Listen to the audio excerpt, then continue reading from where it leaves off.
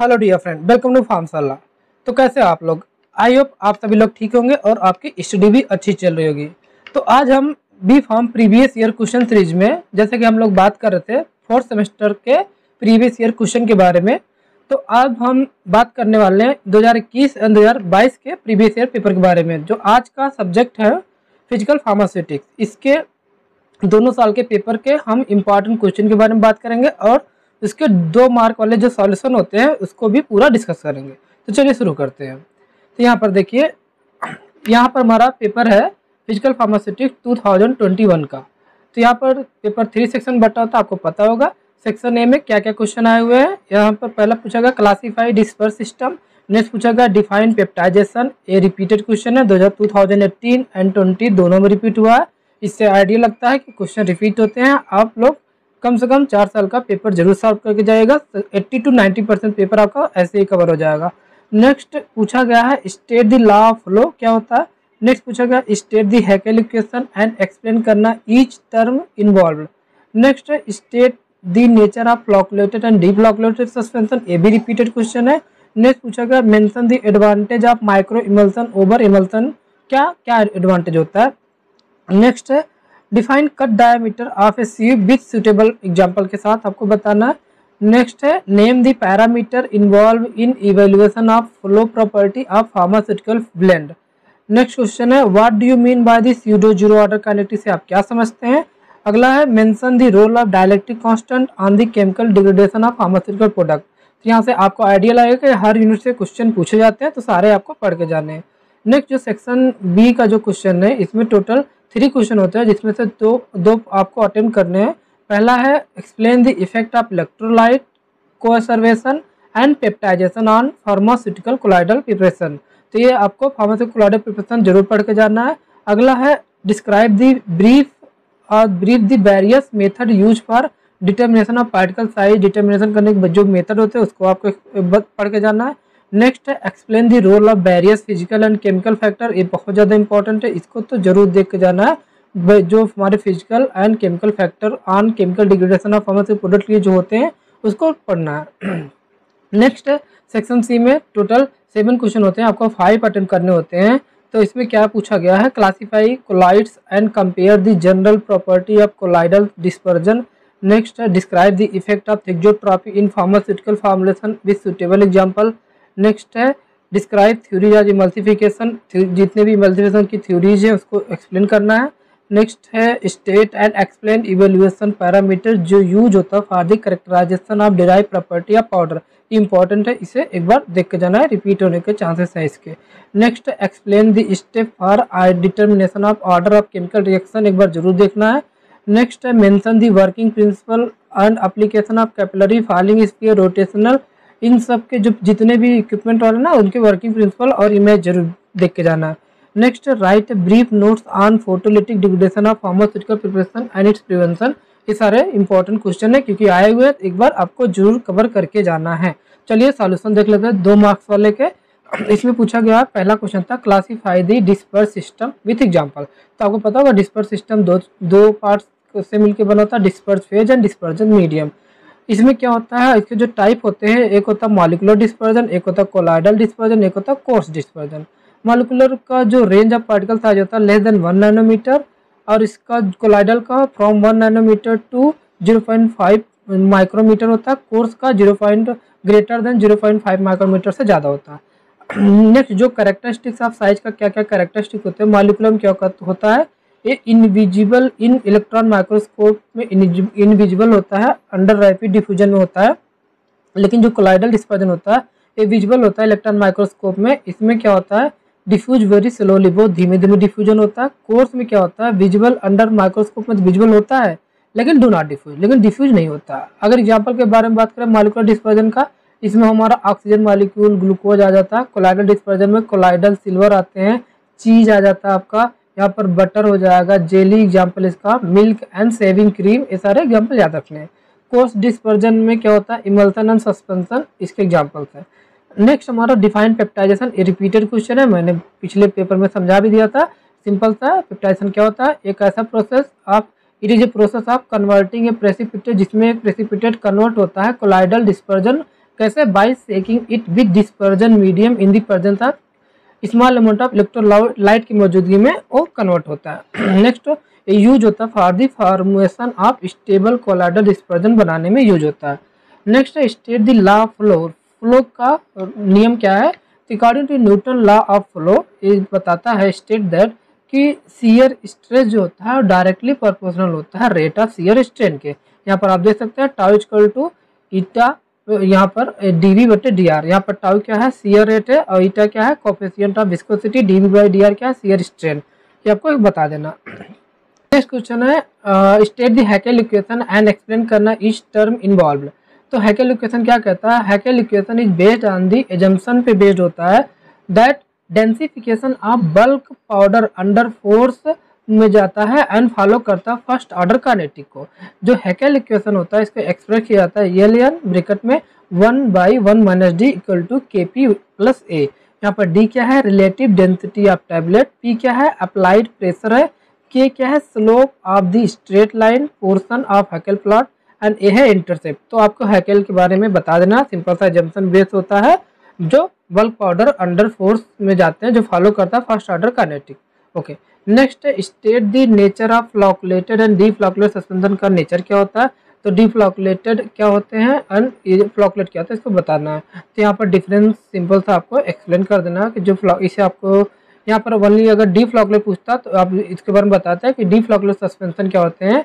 ये individual particle are setting settling so इसमें ये, ये अलग अलग पार्टिकल सेटलिंग सेटलिंग होता है। इस जिसकी वजह से रेट ऑफ़ सेडिमेंटेशन स्लो होता है।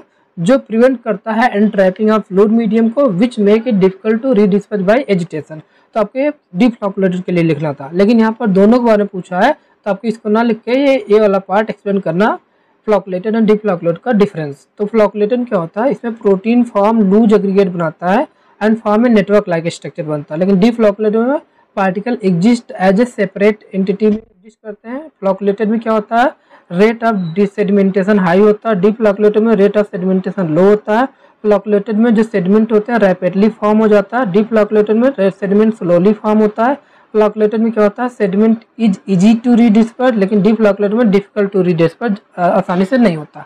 ओके तो आपको ये दोनों डिफरेंस लिखने वाले ओके नेक्स्ट है mention the advantage of micro emulsion over emulsion तो माइक्रो इमल्सन सिंपल सा क्या होता है? थर्मोडाइनमिकली स्टेबल होता है एंड एफिशिएंट मॉलिकुलर पैकिंग होती है। लेकिन इमल्सन में क्या होता है? थर्मोडाइनमिकली अनस्टेबल होता है इन इनएफिशिएंट मालिकुलर पैकिंग होती है। दोनों आपको लिख देना। नेक्स्ट है define cut diameter of sieve with suitable example तो सी डायमीटर होता क्या है? It is a diameter of sphere that passes through the same sieve aperture at the asymmetric particle के फॉर्म में होता है। इसमें अलग अलग टाइप के सीब होते हैं और सबकी अलग अलग ओपनिंग डायमीटर होती है। ये आपको ये चार्ट याद रखे, इनके डायमीटर भी लिख देना। Okay next name the parameter जो इन्वॉल्व होता है evaluation of flow property of pharmaceutical blend तो यहाँ पर क्या क्या पैरामीटर कुछ एग्ज़ाम्पल दिए रखे हैं। एंगल ऑफ़ रिपोज हो गया कार्स इंडेक्स हो गया हॉजनर हॉजनर रेशियो ये सारे लिख देने next what do mean by this zero order kinetics से क्या समझते हैं? इसमें सिंपल सा एक ऐसी रिएक्शन होती है which may be first order होती है हो सकती है but behave like a zero order मतलब ए फ़र्स्ट ऑर्डर हो सकती है, लेकिन कैसे बिहेव करती है? ज़ीरो ऑर्डर तरह, इसलिए इसको बोला जा रहा है सीडो ज़ीरो ऑर्डर कानेटिक और ये डिपेंड करती है एक्सपेरिमेंटल कंडीशन पे। Next mention the role of dielectric constant on the chemical degradation of pharmaceutical product तो क्या क्या रोल होता है? इसका रोल होता है इन सॉलिबिलिटी एंड हाइड्रोलिसिस में इन रिएक्शन रेट एंड मैकेनिज्म में इन इलेक्ट्रोस्टैटिक इंट्रैक्शन में इन फॉर्मुलेशन एंड स्टोरेज में इसका रोल होता है। सिंपल था। ये सारे आपको दो दो मार्क्स में बहुत ज़्यादा एक्सप्लेन नहीं करना होता। एग्जैक्ट टू आंसर लिखने होते हैं। सबको आपको ऐसे ही लिखने हैं। नेक्स्ट हमारा 2022 का जो पेपर है, इसमें जो पहला क्वेश्चन पूछा गया डिफाइन काइनामेटिक विस्कोसिटी ए भी रिपीटेड है define porosity next what is peptization next draw the rheogram of plastic flow fluids water Newtonian fluid next define Feret and Martin diameter को डिफाइन करना है। ए भी रिपीटेड है what is rheopexy, name two rotational viscometer next Hausner ratio क्या होता है? And next हमारा एग्जांपल हम नॉन न्यूटोनियन फ्लूड का एग्जांपल बताना था। नेक्स्ट सेक्शन बी से क्या पूछा गया डिफाइन डिफ्रेंशिएट करना Newtonian and non Newtonian important है, बहुत ज़्यादा, इसको एक बार ज़रूर देख के जाना।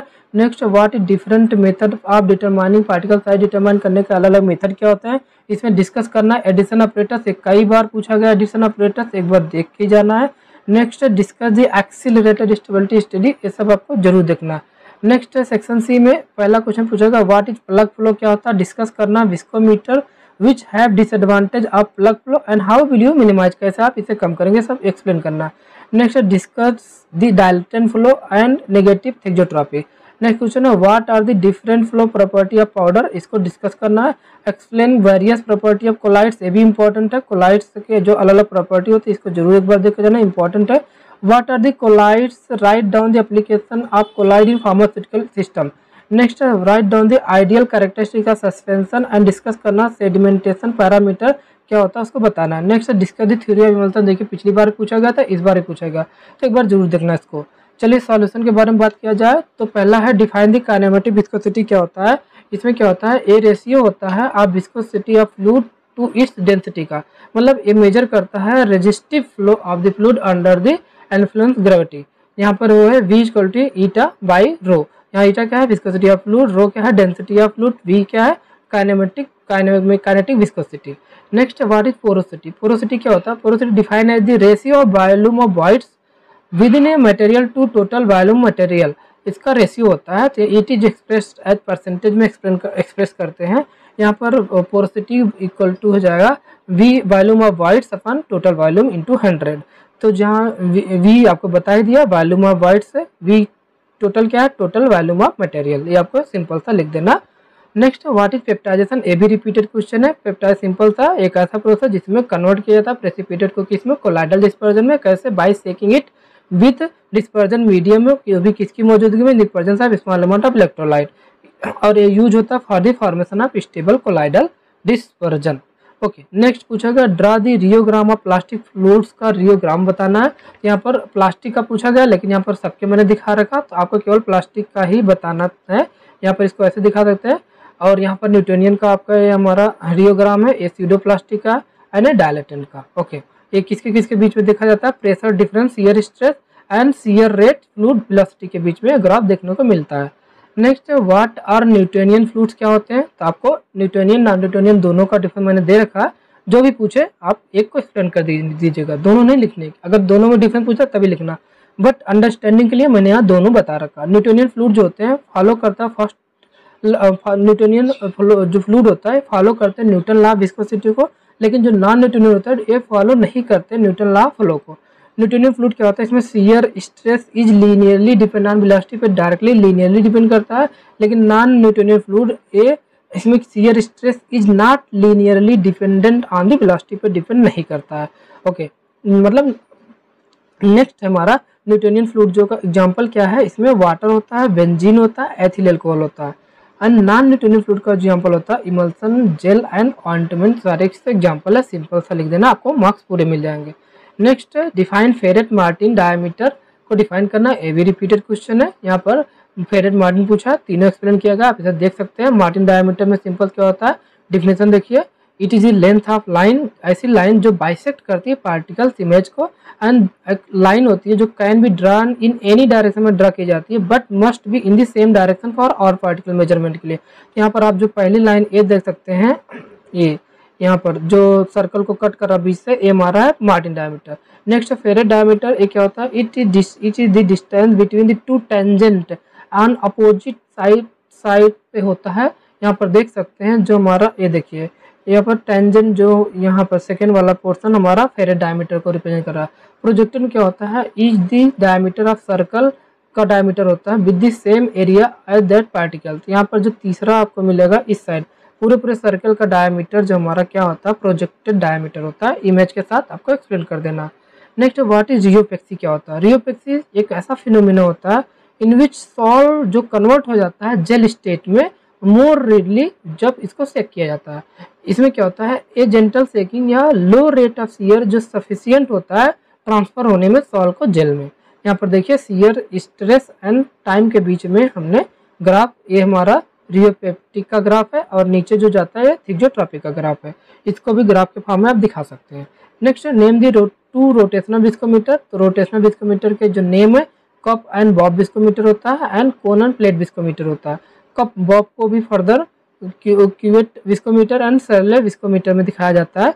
क्यूवेट में क्या है? मैक माइकल विस्कोमीटर एग्ज़ाम्पल है। सरले में Stormer viscometer and Brookfield viscometer लेकिन आपके दो नाम पूछे तो आपको यही कॉब एंड बॉब का कोन एंड प्लेट को लिख देना okay next define Hausner ratio Hausner ratio are related to inter particle system से रिलेटेड होता है। इसमें डिफिनीशन क्या है? ए tap density upon bulk density का रेशियो होता है। इसमें अलग अलग रेशियो पे अलग अलग फ्लो फ्लो करेक्टर होता है। ये आपको चार्ट भी देख लेना है। एक्सीलेंट है।